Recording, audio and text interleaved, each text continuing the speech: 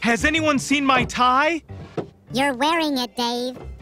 Uh, thanks, Simon. All you do is type whatever you wanted to say right here. Why are you wearing a baseball cap to bed? Why are you wearing a baseball cap? Because it's sewn on. What's your excuse, weirdo?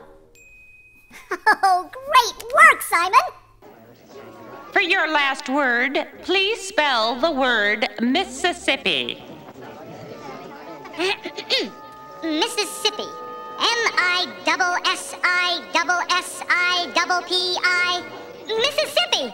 Correct! Yay! Number 10, Simon Seville. Yay, Simon! You know, boys, you should settle down and read a nice book. I feel kind of funny about tricking Miss Miller. It's called Guilt, Theodore. Ooh, that's interesting. Oh, what, what, is it alive? It seems to be some sort of silicone substance. Oh no, from a spaceship? Yeah, yeah. Or a tennis shoe. This isn't a Gothic castle. It's a Norman castle. I never thought I'd have to use this stuff, but here we go.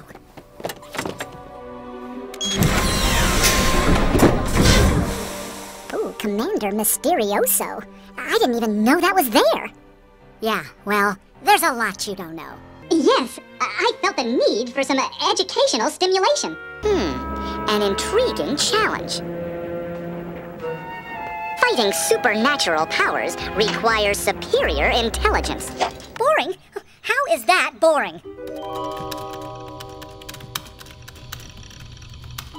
Okay, so, you know, it's it's it's a little boring. Correction.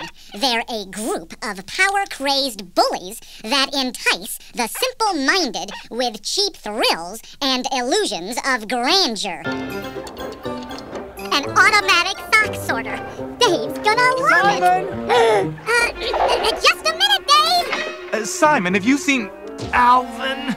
Nope. Uh, sorry, Dave. Haven't seen him. Okay, good, good. That's looking good. Okay. Uh, something a little louder now. I don't want to do this anymore. I don't want to do this anymore. Oh yeah, it is working. Who's the bomb? Simon's the bomb. That's me. I'm a genius. Here, Kevin, give her this. It's an equation that, when solved, translates to "You complete me."